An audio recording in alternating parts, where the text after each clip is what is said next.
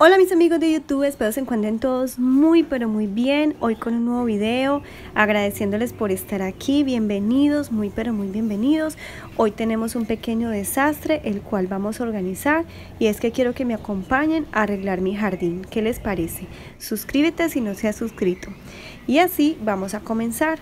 Aquí tenemos este mueble que es totalmente reciclado yo le he puesto este mantelito plástico, ya he quitado todas las plantitas que tengo o que tenía aquí y como pueden ver está sucio porque obviamente uno va regando las plantas y ellas pues eh, van soltando su agua y también van botando sus hojas y entonces eh, todo se va drenando. Y bueno, hoy es un día que está haciendo como frío aquí en Panamá está nublado, aunque se ve con mucha luz, pero verdaderamente está nublado, ha estado lloviendo y bueno, así se mira más o menos esta parte de mi jardín.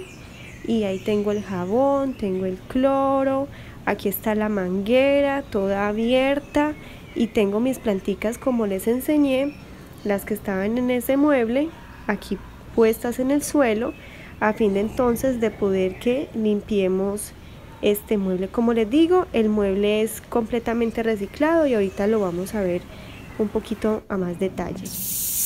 Bueno, aquí comenzamos. Eh, voy a empezar a regar eh, las plantas, eh, los cactus y todo esto lleva más o menos casi un mes sin regar y es que aquí en Panamá ha llovido muchísimo, ha hecho muchísima humedad por lo que para estas hermosas suculentas es importante en cuanto al clima, cuando está haciendo frío y no está haciendo tanto calor, pues debemos parar un poco el tema de el riego a fin de que no se nos vaya a pudrir nuestras plantitas. Así que hoy es el día en el cual quiero que me acompañen a regarlas todas, eh, porque como les digo, ya lleva más o menos unos 20 días sin regar. ¿Qué les parece? Así que ya es tiempo, ya es hora de que todas queden bien regaditas para poder que las coloquemos en, el mueble cuando ya esté todo limpio. Y bueno así las estamos regando a fin de que drenen bien y podamos colocarlas en el mueble ya todas eh, drenadas y todas sequitas para que no vayan a botar más agua y entonces el mueble pues se pueda conservar un poco más limpio Así que bueno, aquí vamos con este precioso calanchoy que me encanta. Mire todos los hijitos que tiene, está hermoso. Y bueno, así vamos comenzando.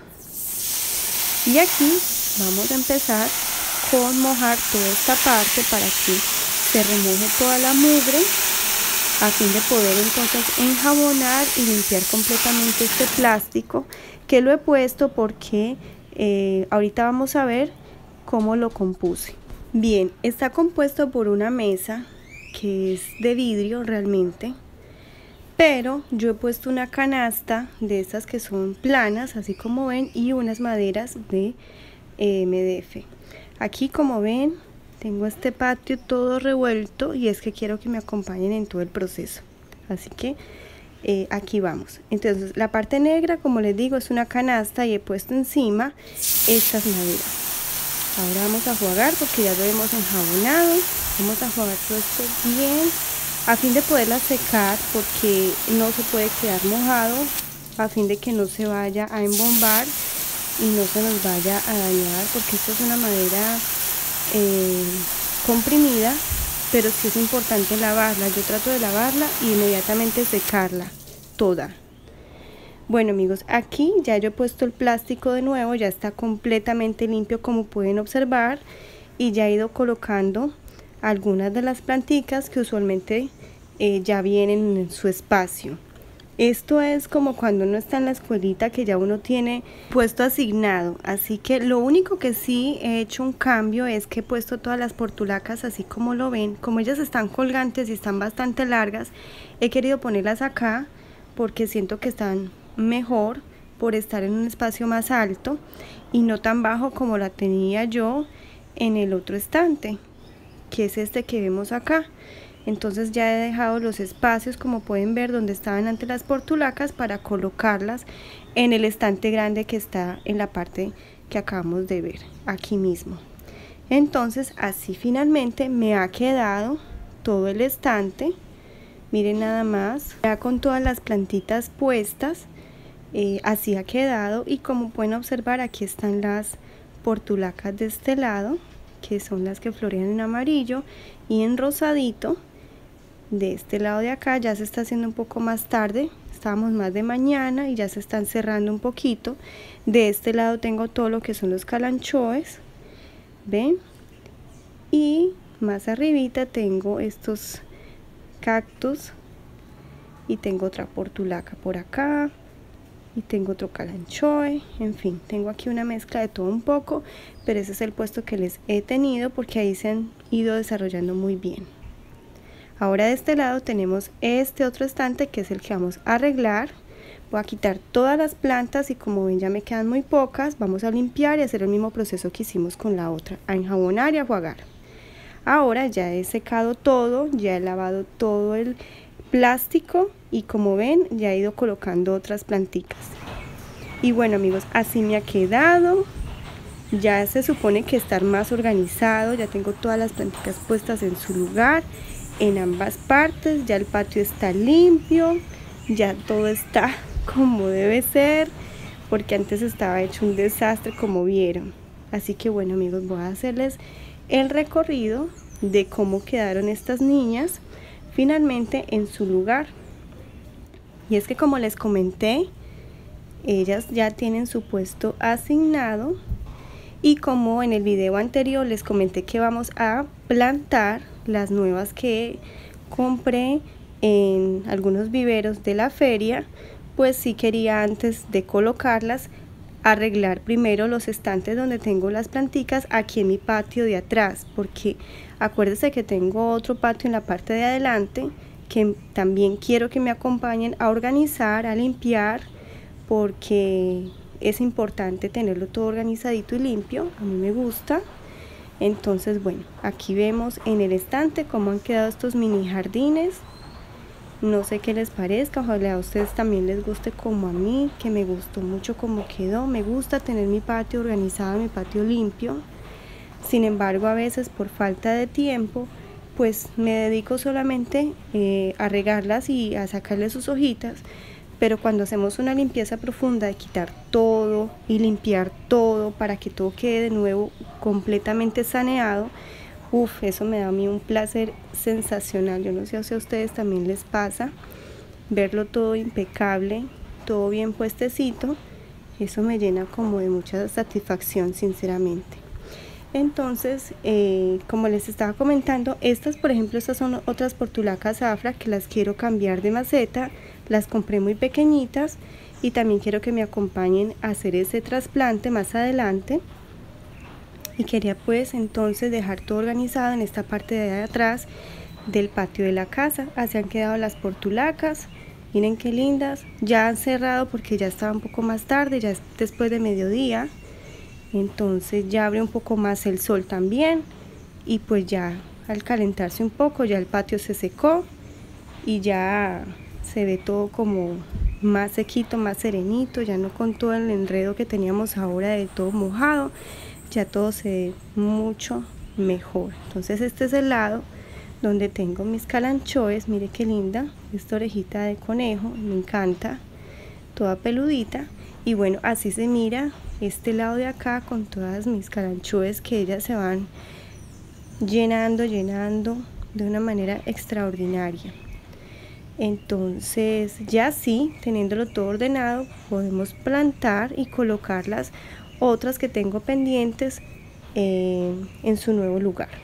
También quiero que me acompañen a arreglar el estante, el otro que reciclé que les había mostrado, donde tengo todas mis plantas de interior, o algunas de ellas mejor dicho, pero eso también lo vamos a hacer en un video más adelante. Miren, nada más así me quedó. Por ahí hay una mariposita que no sé si no volar, está dándonos vuelta. Y bueno amigos, así ha quedado mis planticas. He tenido más, sinceramente, pero algunas las he ido vendiendo. Y bueno, estas son las que me han quedado por ahora. Y como les digo, el otro jardín que tengo en la parte de adelante, también quiero que hagamos un video de cómo lo limpio, cómo lo organizo y hacerles un pequeño recorrido también. Mire esta linda eh, petunia mexicana, me encanta porque es muy bonita, es rosa, usualmente es moradita, pero la que tengo es rosadita. Y bueno, así se mira mi patio aquí en la parte de atrás. Espero que les guste. Y así ha quedado mi otro estante. Y aquí vemos las otras plantas que tengo en la jardinera, que estas sí son directamente eh, en la tierra. Y como pueden ver tengo embaquias, tengo también cingonios, tengo este lindo croto, mire qué bonito. Eh, tengo también el arbolito de la felicidad. Eh, tengo aglaonemas. Aquí hay otro croton. Aquí hay estas lindas epipsias que tengo una amiga muy especial que le gustan mucho. A ella se la dedico y a todos ustedes también. Y bueno, así más o menos se mira mi jardín. Como le digo, en esta parte de atrás. Con mucho dolor he tenido que vender otras plantas, pero bueno, ¿qué les puedo decir más adelante? Ahí en el fondo, como pueden ver mis tortuguitas que las tengo acá, más adelante les voy a mostrar mis otras tortugas que las tengo en una pecera mucho más grande. Así que bueno amigos, así se mira este lado como me ha quedado, ya todo limpiecito y todo puesto. Parece que no está organizado, pero sí está ordenado chicos, de verdad que sí, porque las tenía eh, no en desorden, pero sí como veían en la parte donde están puestas con tierrita y eso, porque claro, la tierra va drenando a medida que uno va poniéndoles el agua. Por eso fue que las regué antes de ponerla, con el fin de que ellas escurrieran toda su agua, a fin de ponerlas ya en el estante, que ya hayan escurrido. Y de hecho ya no las voy a regar más, sino hasta las suculentas, por supuesto. Las debo regar más o menos hasta dentro de unos 10 días, unos 8 a 10 días, porque como les digo, está haciendo frío, está lloviendo mucho, no está haciendo tanto calor y entonces eh, se les va a prolongar mucho más el espacio entre riego y riego. Claro, tengo que verificar el sustrato que esté verdaderamente seco para que no se me vayan a podrir. Entonces hay que tener en cuenta eso, las temperaturas y el ambiente que lo tengamos, ¿ok? Ya para las otras plantas que sí requieren más de atención de agua, como por ejemplo estas hermosas, ellas sí requieren más agua. Eh, estas sí se les debe dar su agüita antes de que se seque totalmente su sustrato.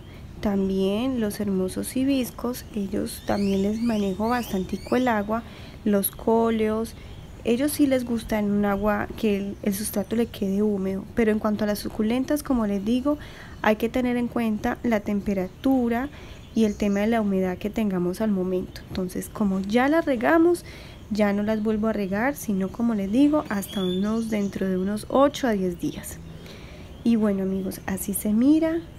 De verdad que espero que les haya gustado este video, como siempre, hecho con mucho cariño con mucho amor para todos. Espero que les haya gustado, que se hayan quedado hasta el final. Si es así y te gustó este video, no se te olvide darle me gusta y agradeciéndoles nuevamente su compañía en esta limpieza del jardín del patio de atrás de mi casa. Para la próxima estaremos limpiando el patio de adelante. Pero antes vamos a estar plantando las maticas que compramos en, la convención pasada y de las que les estuve compartiendo en el video anterior.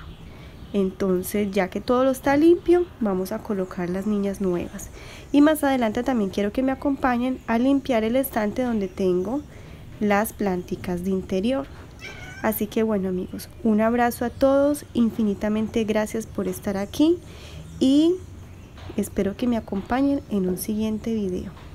Un abrazo muy especial y gracias, de verdad muchísimas gracias por su compañía. Nos vemos hasta un siguiente video. Hasta pronto.